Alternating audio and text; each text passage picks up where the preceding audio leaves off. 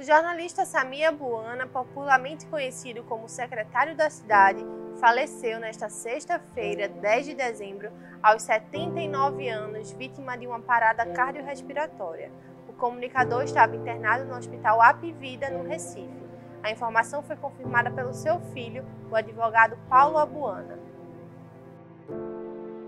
Segundo o filho de Samia Buana, o jornalista sofreu três paradas cardíacas e, na última, não conseguiu ser reanimado. Samia Buana estava internado em estado grave desde a quinta-feira, 2 de dezembro, após sofrer um acidente doméstico.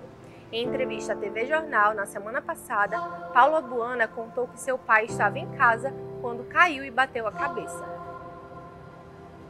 Devido à gravidade do episódio, ele precisou ser entubado.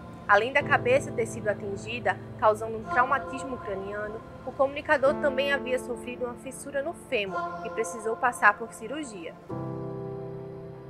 Samia Buana foi um empresário da comunicação, apresentador de televisão, jornalista e radialista pernambucano. Em sua consagrada carreira, passou por grandes veículos do Recife, como a Rádio Jornal.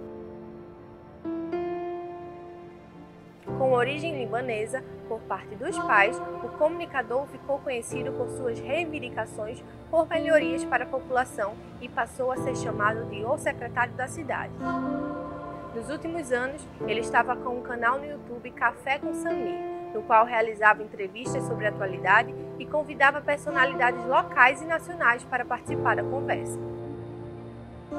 Samia Buana falava em seu canal sobre política, cultura e muitos outros assuntos. Ternurinha era como Samia Buana saudava de forma carinhosa seus ouvintes e a expressão ficou marcada entre os pernambucanos.